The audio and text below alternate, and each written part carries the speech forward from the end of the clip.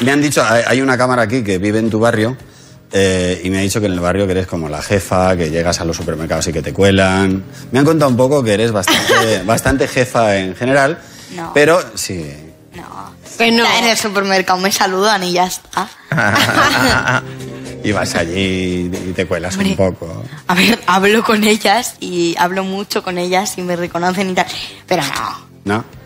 Dice nada.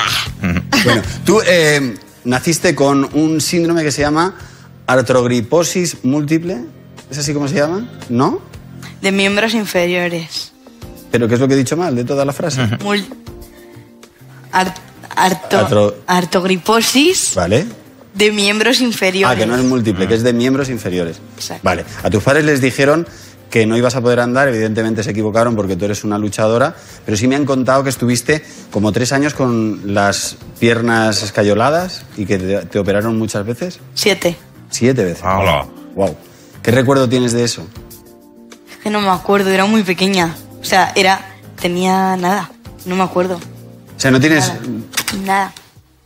O sea, estás... Esto es- he visto fotos y todo eso, pero no. Me acuerdo de una vez que era como.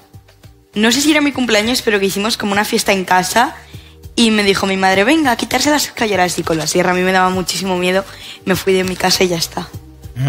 Me acuerdo de eso. De eso. ¿Te fuiste de dónde te fuiste? Al hospital. Ah, vale. Digo, te fuiste. Claro, no, eh, Claro, digo. capaz de cualquier cosa. Bueno, tu padre es Pablo Carbonell, le conozco, tu, tu padre ha estado aquí. Sí. ¿eh? ¿Qué te ha contado algo de mí? Que eres súper mala persona, de que caes fatal. que la trates bien. No, no, que siempre que ha venido aquí se lo ha pasado muy bien. Ah, guay. Me alegro que sea.